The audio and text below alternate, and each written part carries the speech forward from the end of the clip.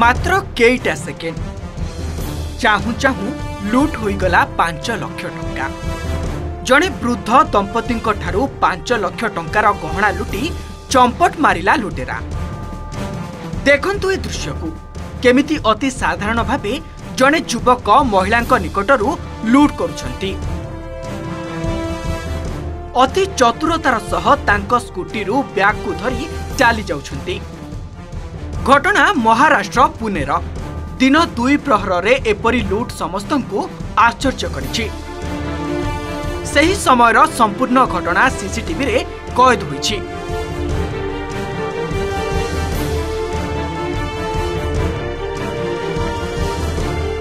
ଦମ୍ପତି ଜଣକ ବ୍ୟାଙ୍କରୁ ଫେରୁଥିବା ସମୟରେ ରାସ୍ତାରେ ଅଟକି ରହିଥିଲେ।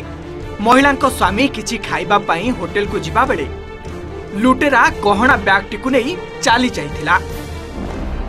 ବ୍ୟାଗ୍ ଚୋରି ହେବା ଦେଖି ମହିଳା ଜଣକ ସାହାଯ୍ୟ ପାଇଁ ଚିତ୍କାର କରିବାରୁ ଅନେକ ଲୋକ ଏକତ୍ରିତ ହୋଇଥିଲେ। କିନ୍ତୁ ଚୋରକୁ ଧରିବାରେ ସଫଳ ହୋଇନଥିଲେ। ପରେ ଏନେଇ ଥାନାରେ ଅଭିଯୋଗ ହେବା ପରେ ପୋଲିସ ତଦନ୍ତ ଆରମ୍ଭ କରିଛି। ସିସିଟିଭି ଫୁଟେଜ୍ ଆଧାରରେ ଚୋରକୁ ଧରିବାକୁ ଚେଷ୍ଟା କରୁଛି। ବ୍ୟୁରୋ ରିପୋର୍ଟ ओ